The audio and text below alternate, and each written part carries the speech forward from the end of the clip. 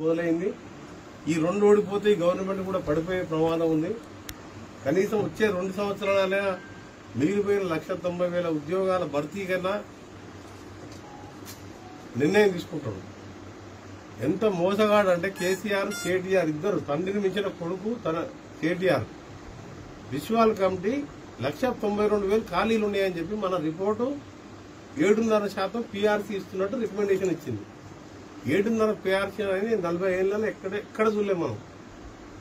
ఒక భిక్షగానం లాగా ఉద్యోగులని అవమానపరుస్తూ ఐఆర్ ఇస్తేనే ఇరవై రెండు శాతం ఇచ్చిన ఆ కాలంలో మీరు రెండు రెండు వేల అన్న రాజశేఖర రెడ్డి ఉన్నప్పుడు ఇంటీరియర్ రిలీఫ్.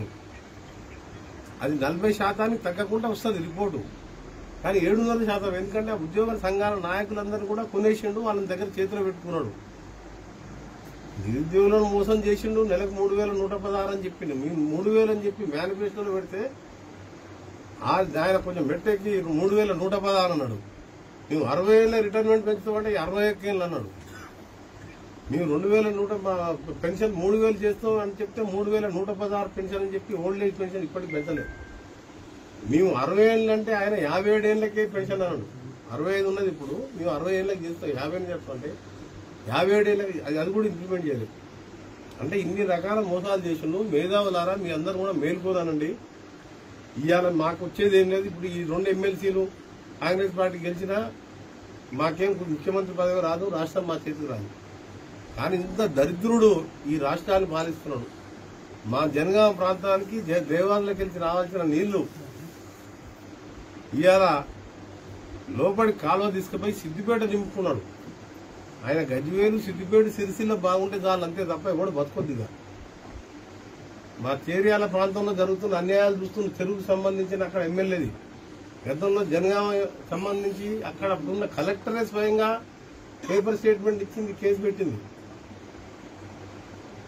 ముఖ్యమంత్రి గారు ఏం మాట్లాడుతున్నాయినా ఆయన? పోయి నేను పుట్టిన ఊరు కాబట్టి ఇక్కడ కోటీశ్వర్లకు కూడా మనిషికి పది లక్షలు ఇస్తాను ఇవాళ మనం చూస్తున్నాం ఈ బచ్చన్నపేట చూస్తే ఎస్సీ కాలనీ పోయినప్పుడు అన్ని ప్రాంతాలు చూస్తే ఎంతమంది పోయి అందరు పేదవాళ్ళే చింతపడకలే ఉన్నారా పేదవాళ్ళు మరి ఆ ఇంటికి పది లక్షలు అన్ని ఊళ్ళలో ఇవ్వాలి కదా మరి?